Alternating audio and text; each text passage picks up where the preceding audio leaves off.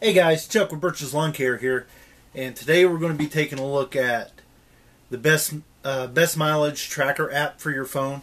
Uh, like I was saying on Wednesday, you know I've always done it old school, so this year we're going to try something new and use an app. That way I can better track my mileage and help me pull reports at the end of the year. So today we're going to take a look at three different mileage tracking apps and what you can do with them on the reports. So here we're going to take a look at my phone and you can see I have uh, three. Um, can, we're taking a look at my phone, and you can see I've got three apps on my phone: TripLog, Mile IQ, and Mile Catcher. So to open these apps, you know, download them from the Play Store or your Google Store or whatever app you buy apps from. Um, and we'll start with looking at Mile Catcher. Now I've been driving with these for a few days I tried making a video of each uh, different app, and the videos were just taking too long, driving around town, doing each app, stop and go. Um, so we're just going to mash these all together because uh, I think doing a three-part series on an app is uh, way too much video time just to discuss an app that you're going to have to try out for yourself anyway to see if it's going to work for you. So right now you can see I've got the screen open and it's showing today's uh, travel to uh, how I've got to classify it. So I'm going to click more. Uh, we'll just do these as where we got. We'll do it at a we'll do a meeting.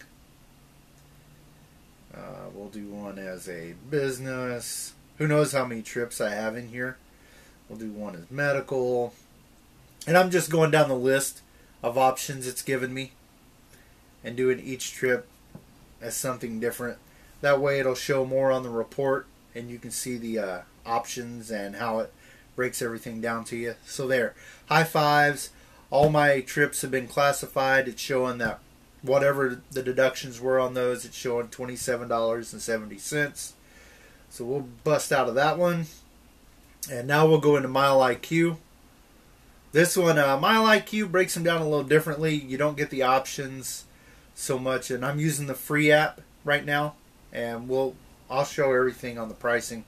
Um, so now we've got you can see at the top we uh, above the date we have personal or business, and this one you just swipe. So we'll do that one is business, that one is personal, that one is business, personal. I've like I said I've had these on for a few days, so there all those are classified. So now we'll go to TripLog. And this, you know, everything breaks down a little different. And you can see on the uh, left side of the screen, everything's marked as business. So let's change, or if I can change, let's change that one to moving. And then, oh, oh, I was getting ready to start some mileage there. So these are already classified. Everything I have is classified for today. Um, yeah. Alrighty. This one has been classifying stuff on its own. This one hasn't been running the entire time. But you can see there's a Tuesday, or, you know, Friday, Saturday, Monday, Tuesday that it was running. So we'll break out of that. And now we will move over go into that later and check out. All right. So we looked at the three apps on my phone. Now we're going to switch over and we're going to take a look at the PC here. So best mileage tracker app. And let's go in and see what we got going on. So the first one we're going to look at is TripLog.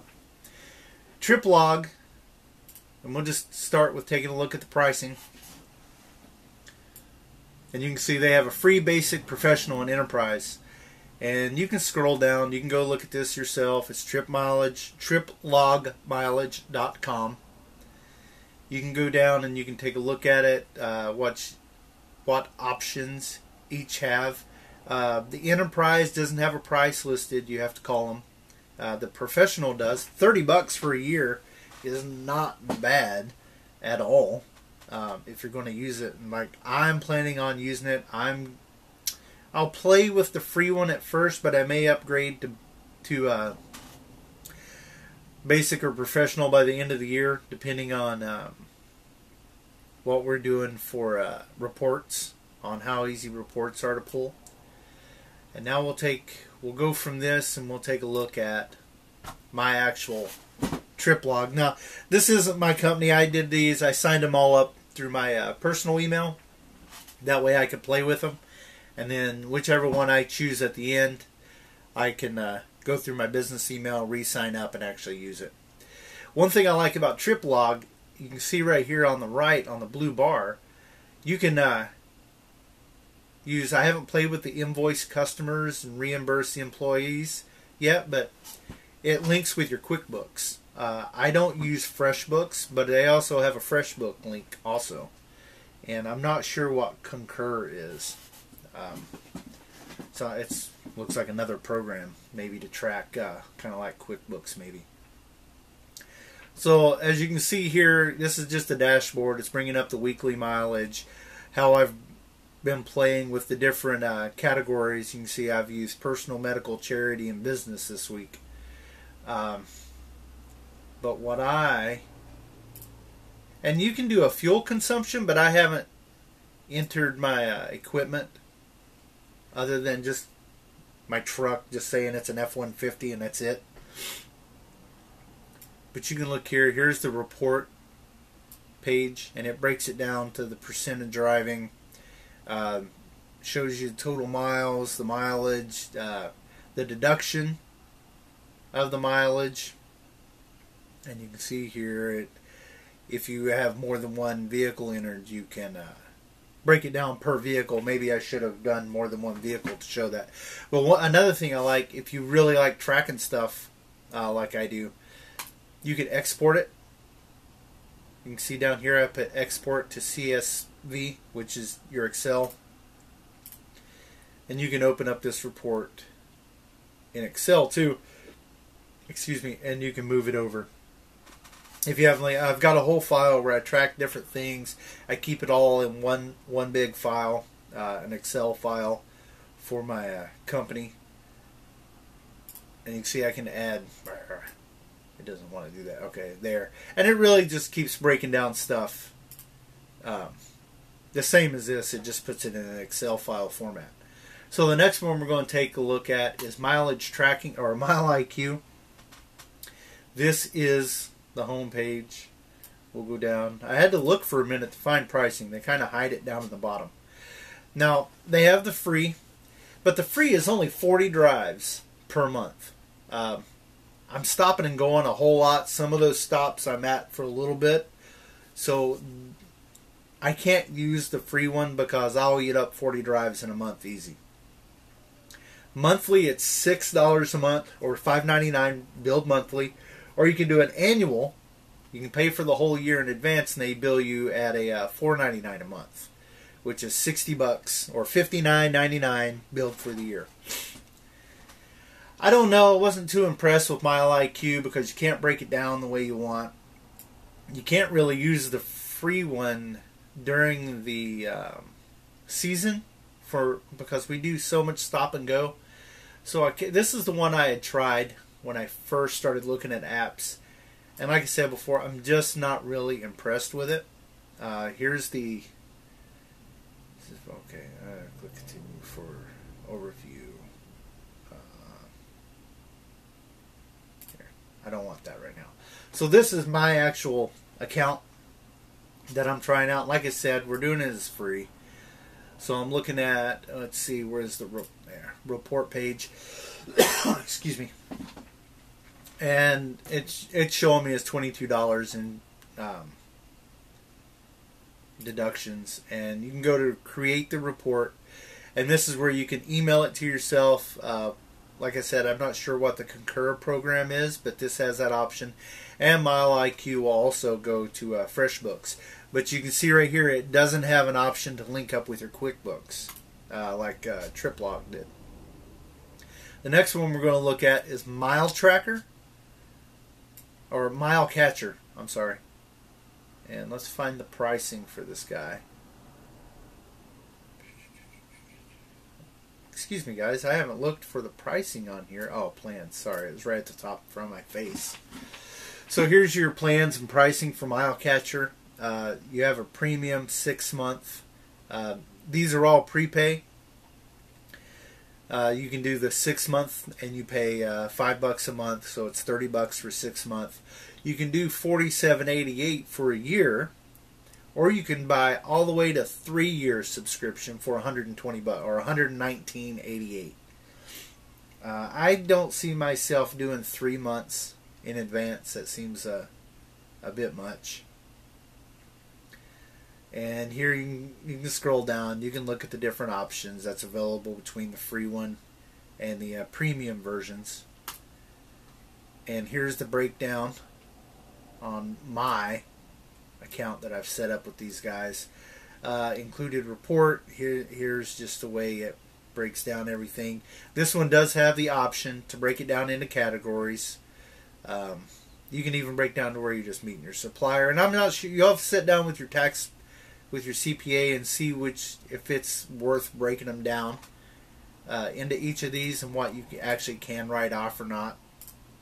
I have not sat down with my CPA and added asked that question other than I know what I can write down as business miles and personal miles or what I can uh, deduct would be the word I'm looking for there. Uh, no reports found. Let's go back to home and maybe I need to add. No, I'm getting ready to add a trip. We do not want to do that. Boom. I do not want to add a new trip. But anyway, there's uh, a quick look at these guys. And I will also add some snippets from me driving around and playing with them. I know this is kind of a kind of a boring office video, but these are things you need to look at as a um, as a business owner, or even if you're just going to be self-employed. Uh, you know, that's some things you're going to have to look at. You're going to have to do some of the boring administrative work, and you're going to have to figure out which processes are going to work best for you. Don't just take everybody's word for it. Try a few out, see what you like, see what's comfortable for you, and see what's going to work well for you at the end of the year. Because, like I said, three years, I just did it by writing it down, and it works fine. But I'm starting to get to where I don't want to keep so much paper. I've got files and envelopes that are full where I keep everything for an audit if I ever get one I've been lucky and haven't been audited yet. But I'm sure it's going to come. If I stay in business long enough, I'm sure I'll see an audit in my time. So anyway, guys, there you go. We're taking a look at the three uh, three apps I liked, and the app I'm going to go with. Stay to the end of the video, and we'll talk about that. So we've got it on Magic Trip. So as we pull out, I should drive for a minute or two, and it should start tracking. And we are going to go to the gym. Now we're stopped. Now I've went one and a half miles since I reset my trip meter. Trip will be stopped in five minutes. I don't know what that means. I'm just stopping it. Trip auto stopped and saved. Uh, it says my mileage should be 127782. My mileage is 127781.9. So it's uh, it says 1.6 miles. My truck says 1.4. So that's not a big, uh, that's good. So we'll save that. Now, oh, it says your deduction reimbursement is 80. I didn't know it was going to do that. It, it's tracking me as business. Now I can change. It says tap to change activity.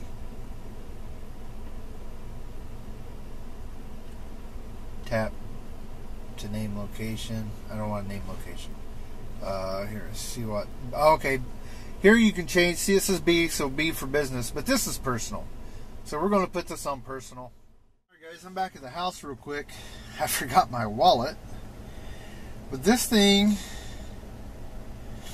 is still showing me it's not moving, and I've already driven. I mean, the the other one has got me at nine miles so far, and I only turned it on halfway.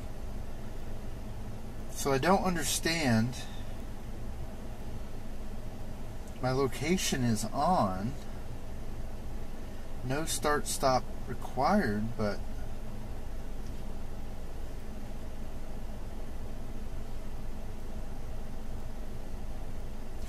I keep hitting take a drive. Mile IQ's ready. It's showing me nothing is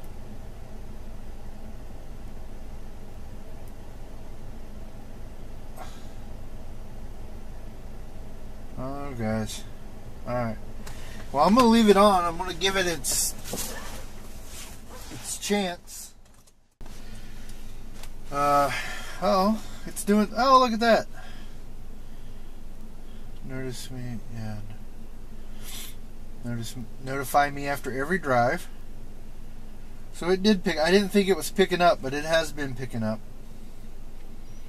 Um. Oh, so now that it's picked up this drive, it shows 19 miles, and then you swipe left for personal or right for business. So we're going to swipe left, swipe, swipe left.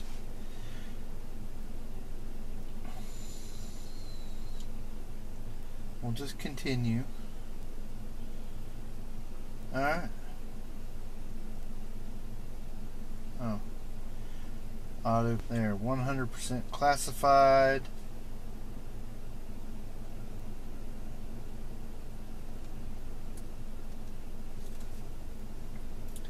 Use, uh, hopefully I'm not getting too much glare in there. Now we're going to try out the mile catcher. Uh, locker service, standby. That's what we want. We're here. Uh, trips, garage report, locations. We'll go to trips. And add a trip.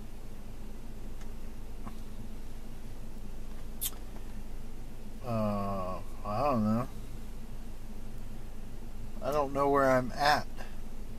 Oh, airport travel. Oh, this is personal. We need an address.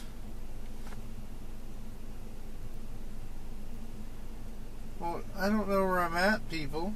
Hopefully that's got an auto feature because I don't understand if you don't know where you're at, because I don't know the address to where I'm at right now. I can look it up on Google, but I can tell you if I have to do that, it's going to be too many steps. And I'm going to dislike the program right away. So I'm going to go ahead and turn around.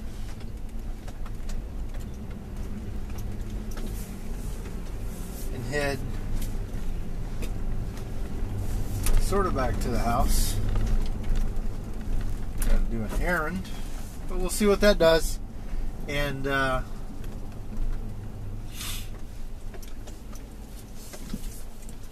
either that works or that doesn't.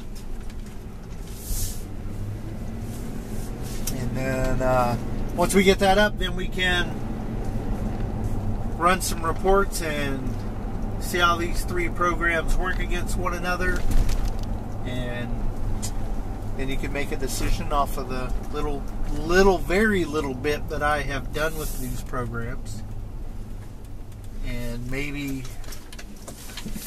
spark you to take a look at some different ones and or if you know some things that I've done or have not done on these that would make them work better for me, let me know.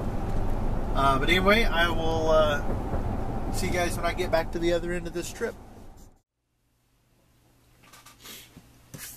So the end of uh, now we're at the end of the video. You guys see me play around with all these uh, apps, and the app I've chosen to go with is TripLog. I really like this one. I like the report breakdown. I like that I, but I do like the like the fact that it does have the uh, QuickBooks option. Now, as far as invoicing customers, I'm not sure how I would work that or how that could be put into my business per se. But uh, I do like the uh, the trip log. I think that's the one I'm going to give a shot at this year and see how it works for me. And if it doesn't, then I'll try out another one. But I think this one's going to work well for me. I like the reports. I like that I can just click a button and I can put it right into my Excel spreadsheet and I can track things there and it's all the way I like it to be set up. And then I can play with the templates and I can customize it and I can make the template the way I want it and I can see it the way I want it. I'm very visual. So I think this is going to work for me, and this is the one I'm going to go with. So, guys, check it out below. Check all three out. Check some more. Add in the comments if there's a different way you like to do it. And uh, just share with the community on what you've learned or what you like or dislike about these kind of apps. And uh, yeah, just let me know what you think. And if you do check out TripLog and you do decide to go with TripLog, there's a link down in the description below for uh, I think it's a 20% off because I'm I'm going with them, and I can get a um, I get I can get you 20% off of your uh, membership to use TripLog. But I will leave links to all three of these below, so, quick links, so you can go check them all out. But like I said, if you do just do decide to try TripLog, Use the link below, save yourself 20%. Uh, guys, thanks for watching. Yeah, we are in the place yeah, yeah, yeah, yeah, yeah, yeah.